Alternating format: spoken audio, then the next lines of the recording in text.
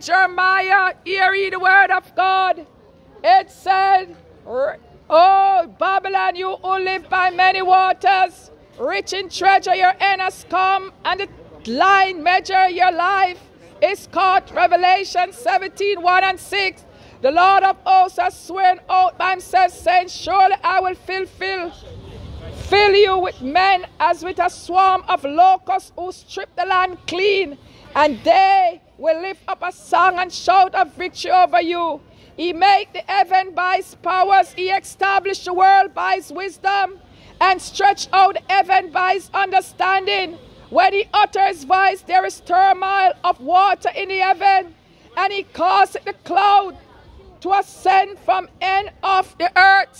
Repentance is now. He make lighting for the rain and bring out the wind from his storehouses.